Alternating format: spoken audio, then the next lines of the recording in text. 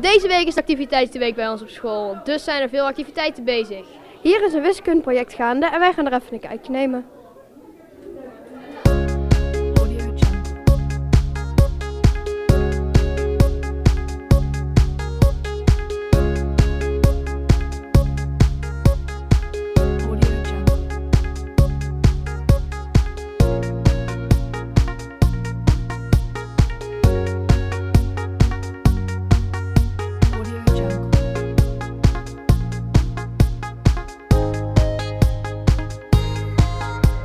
What is this project about?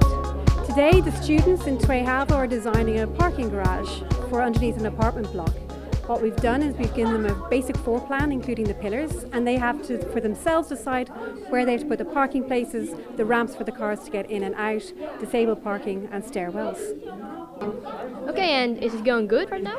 Yeah, at the moment, students are discovering that cars actually have to get in and out of car parks. Some of them had forgotten to put the ramps in the car park to start with, and others had forgotten stairwells. So, but I think so far they're doing really well. Are there any points that can go better?